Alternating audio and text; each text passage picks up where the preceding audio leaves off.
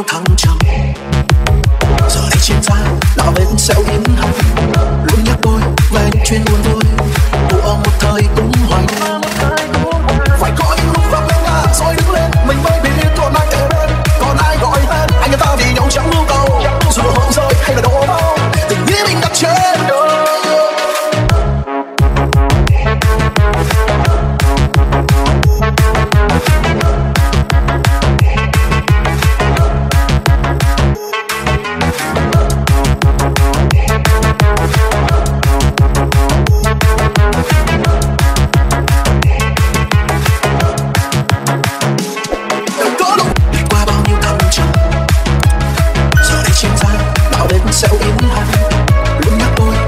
chungo